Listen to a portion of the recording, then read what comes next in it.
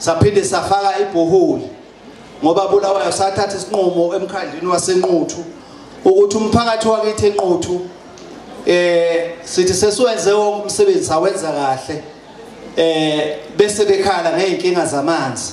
Sase sithatha ke isinqumo sokuthi eh njengomkhandlu ke omncane ongenayo water authority eh indlela esingakwazi ukuwalekelela ngawo umphakathi wakithi enquthu. Eh ukuthi ingqalasizinda nenqalasizinda siyakhaya siqinisekise ukuthi sifaka ibhoholi ngoba masifaka ibhoholi ngabe ihholo ngabe icrash onke amahholo esiwakhayo manje qinisekisa ukuthi aba nebhoholi ukuze umphakathi uma useneyingxakanyana zamanzi ukwazi ukusizakala uthola amanzi kwingqalasizinda esuke ikhona. Sabuka ukuthi lokho esingakwazi ukwenza ngoba singakwazi ukujustifya ngakho naku auditor general. Nalapha ke ikhona ibhoholi ihholo leli lihle nezitulo eziwu 350 eh kanjalo namatafula awu20 linestofu ukwazi ukulekela ukuthi makunemicimbi ethile eh kufudunyezwe ukudla. Line fridge futhi phakathi. Onke nje amahholo ethi inquthu siyasiqinisekisa ukuthi kulana siwakha manje abanazo zonke izinsiza kusebenza. Eh lelo holo lisithatha inkece ngango 5.5 eh million. Omunye umsebenzi ebesuwenza namhlanje. Omunye umsebenzi ebesikade siwenza namhlanje beku handover noma ukwedlusela emphakathini. Ingakho eh bulawayo sulande wonke umphakathi wasenquthu ngoba besivula isakhiwo esikhulu lapha eh seyicishamlilo.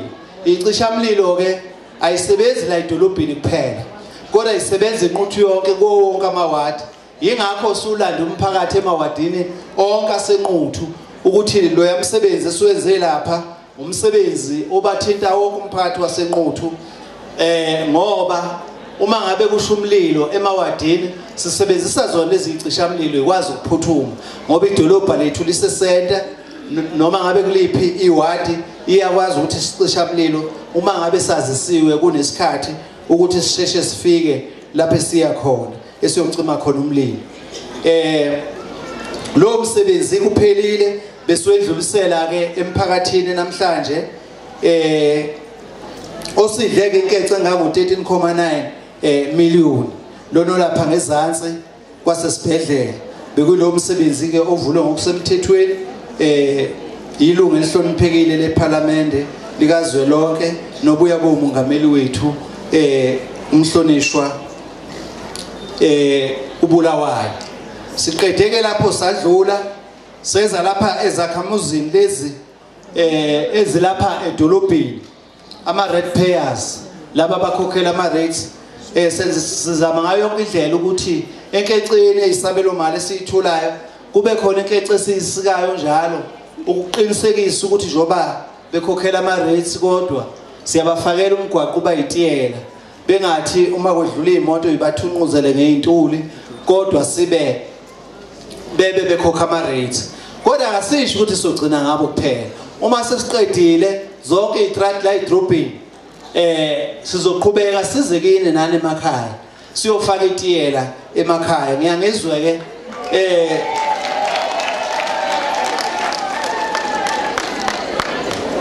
ngiyangizwe ke omunye umholi wethu eh othunyiweyo esho ukuthi hayi sofaka eh uma ngabe ekhankasa athi sofaka hayi ngoba esuke ekhankasa usuke eqinisekisa njengeqembu lenkatha sisebenzela umphakathi.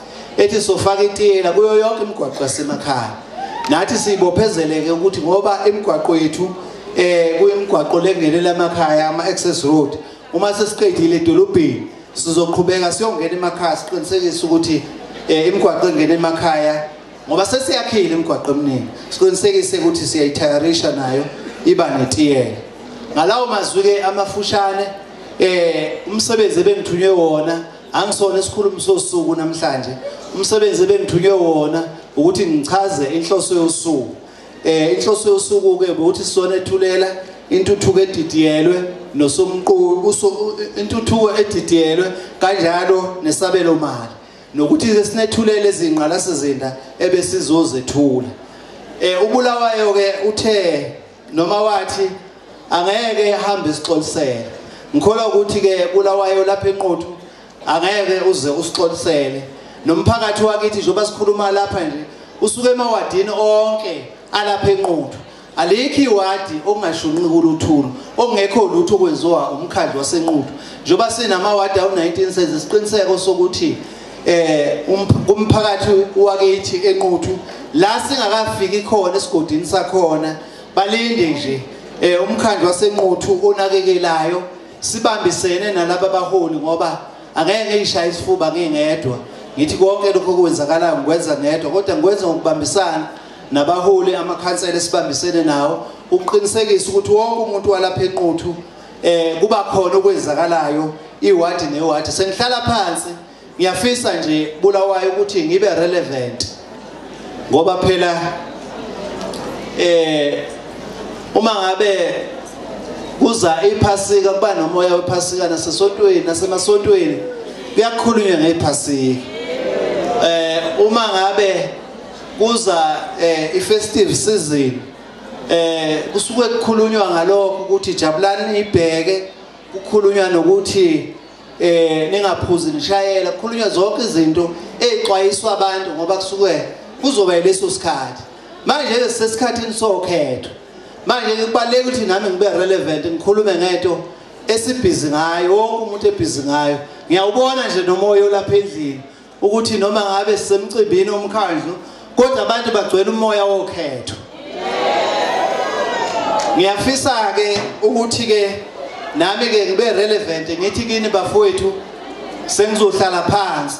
Nonke enikhona la ukuthi yithuba lethu emva kweminyaka engamashumi amathathu. Yokuthi sibuke emuva ukuthi sibhekaphi. Uma sisuka ku1994 sithi sikhululekile ukuthi sikhululeke ngempela yini?